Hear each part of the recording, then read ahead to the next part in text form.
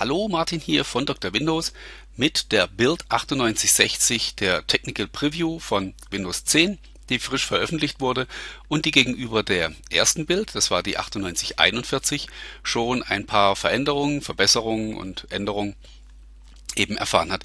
Die auffälligste ist das Notification Center. Da wussten wir ja, dass das kommt. Man konnte sich das auch über so einen Hack in der Vorabversion schon freischalten. Das hat aber nichts getan. Ja, es funktioniert so, wie wir das von Windows Phone auch kennen. Ähm, hier unten in, in der Infoleiste sitzt drin. Wenn ich da draufklicke, dann sehe ich eben meine Benachrichtigungen. Hier kommt eine Kalendererinnerung, ein paar Skype-Nachrichten sind eingegangen und im Store wurde eine App installiert. Ich kann jetzt hier einzelne Benachrichtigungen löschen, indem ich auf das entsprechende Kreuzchen klicke dann verschwinden die. Ich kann auch sagen, ne, ich habe Skype alles gelesen, äh, dann blende ich alle Benachrichtigungen auf einmal aus. Oder wenn ich eben äh, keine Benachrichtigungen mehr sehen will, drücke ich hier oben auf Clear All, dann ist das Notification Center hier wieder jungfräulich. Ganz nette Geschichte. Ich muss allerdings dazu sagen, dass mir das erst richtig gefallen wird und richtig cool wird, wenn das auch so ein bisschen übergreifend funktioniert. Wenn zum Beispiel Benachrichtigungen von meinem Windows Phone, verpasste Anrufe beispielsweise, an der Stelle aufschlagen. Oder wenn mir meine Xbox One meldet, dass für ein Spiel ein Patch bereitsteht, den ich dann vielleicht sogar per Klick hier runterladen kann, damit ich nicht warten muss, wenn ich die Konsole das nächste Mal einschalte. Das sind alles so Dinge, die mir dabei durch den Kopf gehen und von denen ich äh, hoffe, dass Microsoft die auf dem Schirm hat damit hier so eine übergreifende Erfahrung ähm, an der Stelle mit reinkommt. Genau das soll ja mit Windows 10 auch passieren. Es gibt ein paar neue Animationen beim Wechsel zwischen den virtuellen Desktops beziehungsweise beim Öffnen und Schließen von Programmen, die ich euch hier jetzt leider nicht zeigen kann, weil das eine virtuelle Maschine ist und in der diese ganzen Animationen deaktiviert sind. Aber so spannend ist es nun jetzt auch wirklich wieder nicht. Ist so ein bisschen Eye Candy.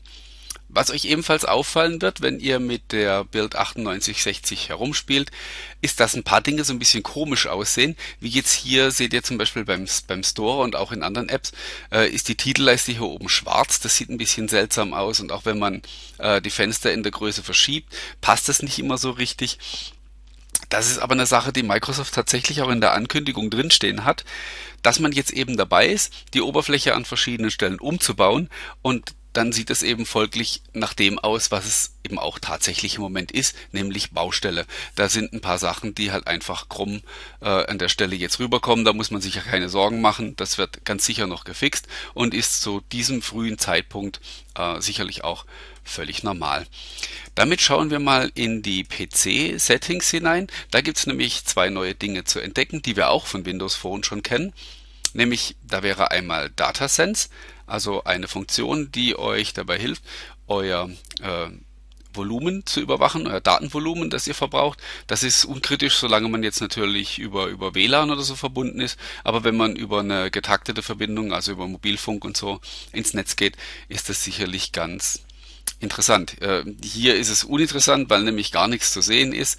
Äh, auch hier unter Usage alles auf Null gestellt weil hier halt eben in dem System nicht viel läuft, aber da könnte man jetzt eben gut sehen, was jetzt zum Beispiel über WLAN äh, rausgegangen ist und was über die Mobilfunkverbindung. Die Einstellungen sind hier alle noch ausgegraut, das heißt, ähm, die Funktion ist da, man kann sie aber im Moment, im Moment noch nicht so richtig nutzen, aber das wird natürlich garantiert noch kommen.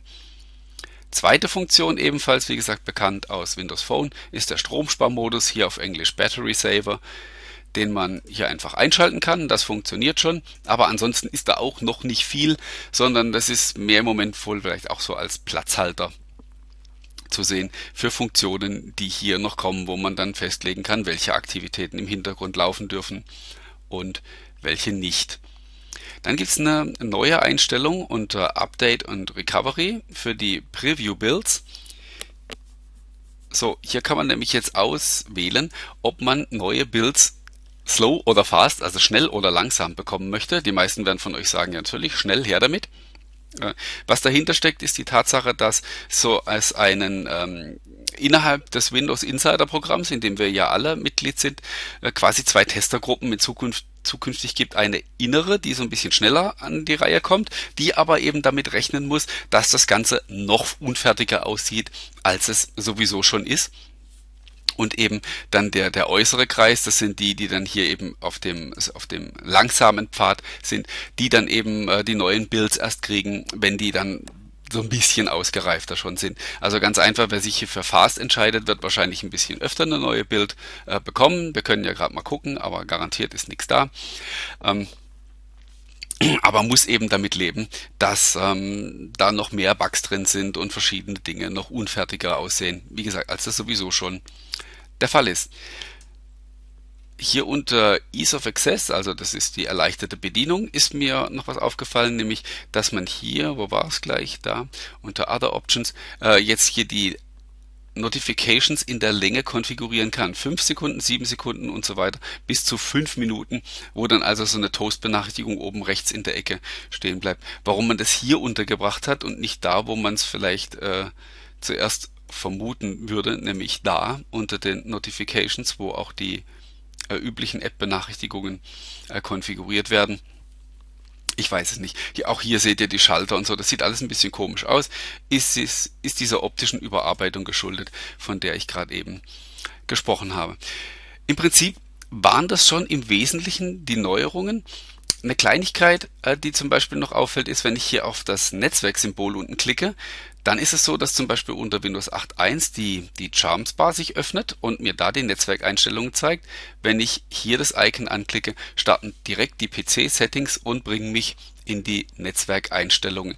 Auch da kann man sehen, ist der Umbau schon im Gange, auf dem Desktop die, die Charmbar möglichst verschwinden zu lassen. Wir wissen ja noch nicht so hundertprozentig genau, wohin die Reise da geht, aber es wird wohl letztlich darauf hinauslaufen, dass die Charmsbar komplett verschwindet. Dann noch eine interessante Entdeckung. Es gibt nämlich nicht nur die PC-Settings, sondern es gibt noch eine App, äh, die nennt sich ZPC-Settings. Immer äh, Apps, die noch unfertig sind und sich im Teststadium befinden, haben immer so ein Z am Anfang. Und deswegen interessant, dass es auch eine ZPC-Settings gibt, die auch tatsächlich ein bisschen anders aussieht die zum Beispiel hier ein äh, Register OEM hat, das aber völlig leer ist und ähm, auch hier sind so verschiedene ähm, Einstellungen zu finden, die man sonst äh, in der Systemsteuerung findet oder in verschiedenen Menüs verteilt. Hier seht ihr ähm, zum Beispiel die Heimnetzgruppe und den Speicherplatz und, und verschiedene andere Dinge. Das ist hier so ein buntes Durcheinander. Äh, sieht für mich ganz danach aus, als ob man parallel eine äh, rund erneuerte PC-Settings-App hier plant, die die Systemsteuerung dann vielleicht sogar in weiten Teilen ablösen kann. Das war ja auch immer so ein bisschen Kritikpunkt an Windows 8, den ich auch sehr gut nachvollziehen konnte, dass die Einstellungen so ein bisschen verstreut waren. Also teils waren die in der Systemsteuerung, teilweise in den PC-Einstellungen, manche Sachen gab es doppelt und äh, so ein richtig rundes Konzept war da eigentlich nicht dahinter. Auch das ist eine Baustelle, die mit Windows 10 geschlossen werden muss. Das muss dann richtig rund sein und ehrlich gesagt möchte ich auf einem Tablet nicht mehr in der Systemsteuerung rumfingern müssen. Und äh, was ich hier so sehe, macht mir große Hoffnung, dass das dann auch so sein wird. Ja, das waren im Wesentlichen die Neuerungen in der Build 9860 von Windows 10. Wahrscheinlich gibt's noch ein paar mehr. Ich habe sie im Moment nur noch nicht entdeckt. Kleinigkeiten fallen einem ja hier und da immer wieder auf, wenn man das System ein bisschen nutzt. Ich hoffe, ich konnte euch ein bisschen was zeigen, vielleicht auch ein bisschen Appetit machen. Wenn ihr Lust habt, ladet euch die Windows 10 Preview runter, spielt selbst ein bisschen damit rum und schaut, was da in der neuen Windows-Generation auf uns zukommt. Ja, ich melde mich sicher wieder, wenn es eine neue Bild gibt und sage bis dahin vielen Dank fürs Zuschauen.